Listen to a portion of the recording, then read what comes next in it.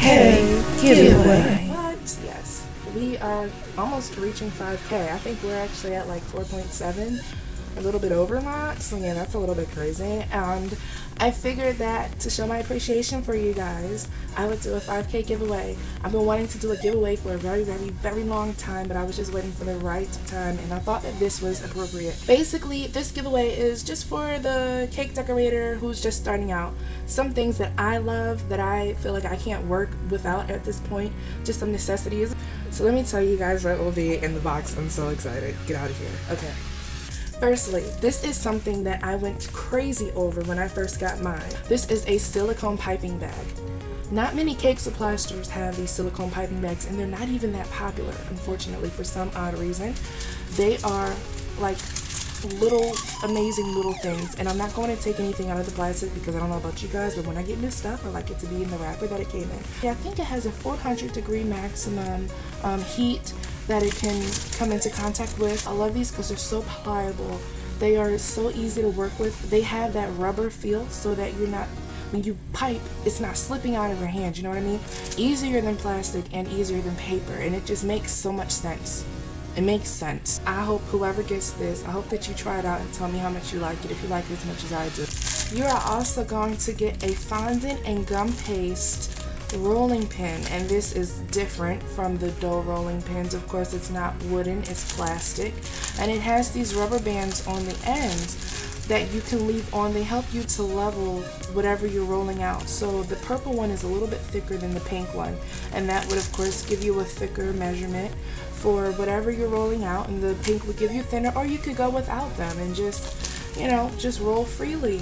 At first I did not get the importance of using a plastic rolling pin compared to using a wooden rolling pin when it came to fondant and gum paste but it just doesn't stick as much. It makes so much sense now that I know and it does make the fondant look a lot better this one is approximately 9 inches so it's definitely good for those little things that you have to do with the little detail work not big enough to cover a whole cake but you can give it a shot because that's what I do all the time so yeah this will be in your box Gum paste tools. Now, gum paste tools are definitely a necessity when it comes to fondant and gum paste flowers, figures, you know, animals and people.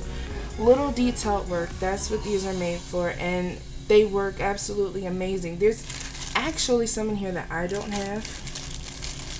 Like, I don't know what this stick one would be for, but I'd use the mess out of it. You're going to get a cake smoother and these are awesome for cakes when you're covering them in fondant. It really does make a difference when you're smoothing the fondant out on the top with your hand compared to when you use this.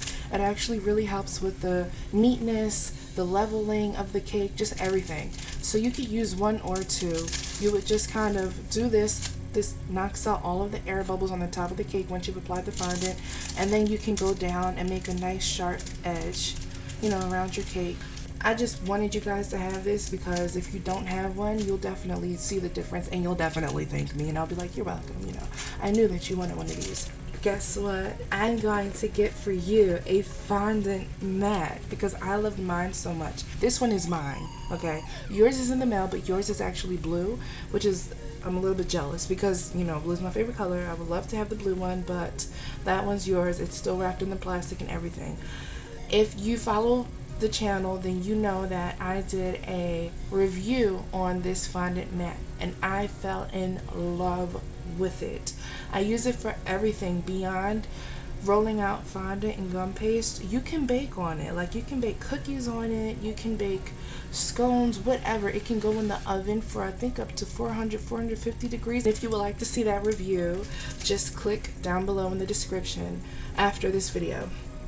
Another serious necessity that you guys may or may not have a tape measure. You definitely have to measure out your cakes. You have to measure out your fondant, your cakes, the, the height, the width of everything. It even comes in handy with decorating. To make my nautical wedding cake, the one that I did the vlog for, I actually put some navy blue fondant down, put a tape measure down. I just basically took a pizza cutter and I went all the way down. And this is how I made perfect strips each time. There is a a groundhog or something outside of the window. And I want so bad for you guys to see what I'm seeing right now. Look, is that a groundhog? What is that? That's a groundhog. Oh, he's huge. Oh my goodness. I wonder if he likes cake. I wonder if I throw him cake if he'll eat it. Or if it had like grass on top or something. There is just a big groundhog. I wonder if I shine like a big beam of light if it would see its shadow and then run away. Not that it could see it in the grass. There, that thing is chowing down. Look at him. You're on candid camera. Oh, snaps. Or is that a... Oh, okay. Peace out. I also got you guys some baking cups. If you want to bake, you usually need baking cups to do that. Got you guys a silicone spatula. Silicone is definitely preferred when it comes to cake decorating and baking because you may need to make chocolate ganache or something on the stove and silicone allows you to keep that on the stove up to I think about 400 degrees. Also got you guys some yellow, gray, and white zigzag cupcake liners. These are really cute. There's 48 in the pack, and I think this is a cool little addition to the uh, giveaway.